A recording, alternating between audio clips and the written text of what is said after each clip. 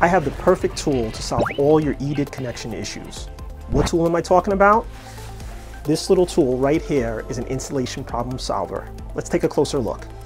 EDID is an acronym that stands for Extended Display Identification Data.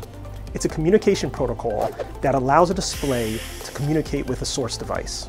EDID's job is to let the source know what the display's capabilities are. This includes the manufacturer, max resolution, preferred resolution, preferred frame rate, and the HDR capability.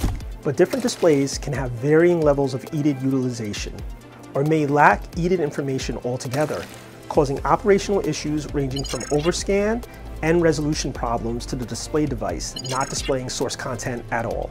That's where the award-winning Dr. EDID 2 emulator comes in. It's a unique, self-powered, bidirectional device that can be inserted on either end of an HDMI system.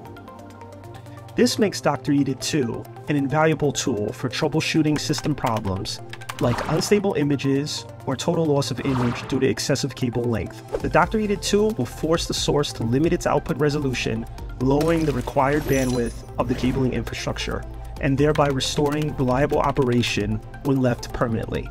For future FSR product snapshots, make sure to subscribe to at FSR Inc. on YouTube.